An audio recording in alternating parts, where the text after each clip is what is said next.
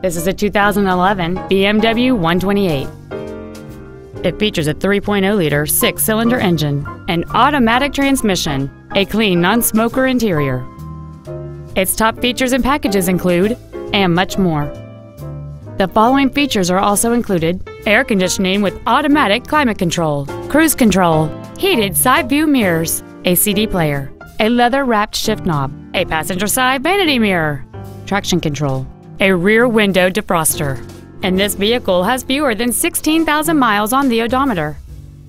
With an EPA estimated rating of 28 miles per gallon on the highway, fuel efficiency is still high on the list of priorities. This BMW has had only one owner, and it qualifies for the Carfax buyback guarantee. Stop by today and test drive this automobile for yourself.